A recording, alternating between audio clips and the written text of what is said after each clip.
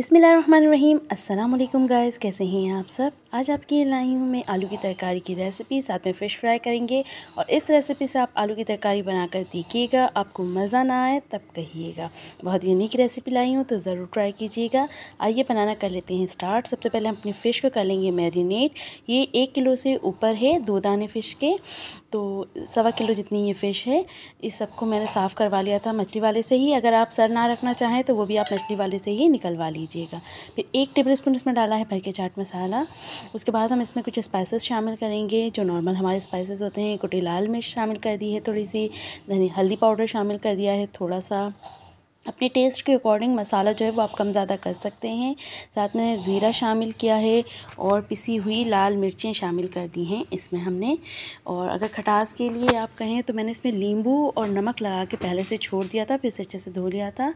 और अब हम इसमें पिसी हुई काली मिर्चें भी शामिल कर देंगे और अच्छी तरह से तमाम चीज़ों को मिक्स कर लेंगे, मछली के ऊपर कोट कर देंगे और इसे छोड़ देंगे। तकरीबन एक या आधे घंटे के लिए या ज़्यादा टाइम हो तो आप ज़्यादा टाइम के लिए भी छोड़ सकते हैं। इससे मसाला बहुत अच्छे से मैरिनेट हो जाएगा फ़िश में।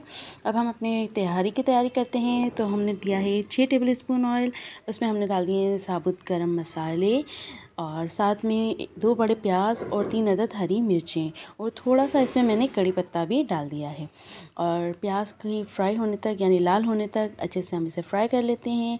उसके बाद जब फ्राई हो गई तो हम इसमें शामिल कर देंगे आलू, टमाटर और अदरक लहसुन का पेस्ट और अच्छे से मिक्स कर लेंगे। अदरक लहसुन का पेस्ट की वीडियो शायद बन नहीं पाई, लेकिन मैंने इसमें शामिल किया था अदरक लहसुन का पेस्ट।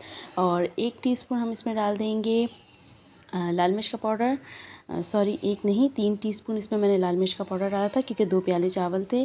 साथ में एक टीस्पून कुटी लाल मिर्च का पाउडर, आधा टीस्पून मैंने इसमें डाला हल्दी powder, one and half teaspoon इसमें डाला है मैंने धनिया पाउडर हंसबे जायका डाल दिया है नमक।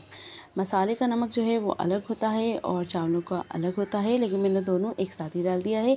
अच्छी तरह तमाम चीज़ों को मिक्स कर लिया है, भून लिया है। जब भून गया तो आधा गिलास पानी शामिल किया है और आलू के गल जाने तक इसे पका लिया है। आलू गल गए तो इसमें मैंने तीन गिलास पानी मज़ीद शामिल किया है, क्योंकि मैं दो गिलास इसमें चावल डालने वाली हूँ, यानी पाँच सौ ग्राम आप इसमें हम चावल यूज़ करेंगे।